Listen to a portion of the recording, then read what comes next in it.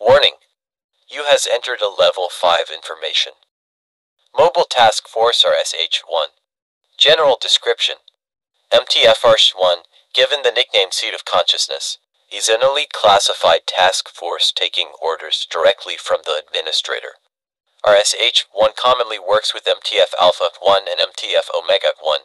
MTFR-1 only responds when the Foundation fails to execute standard protocols, or when the O5 Council fails to complete a task given by the administrator. MTFR-1 is most likely made out of the best Foundation operatives in the world. They were able to execute missions to kill the on several occasions. One of these occasions were Incident 1-1 Alpha.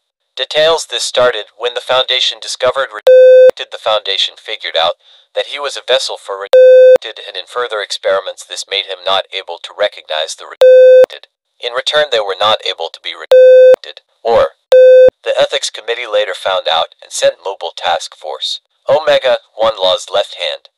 In return, the administrator realized and sent his Mobile Task Force RSH-1 to intervene.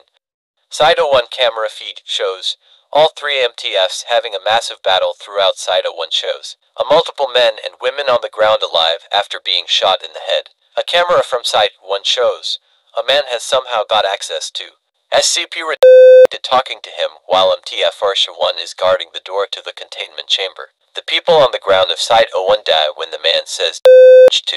SCP and log.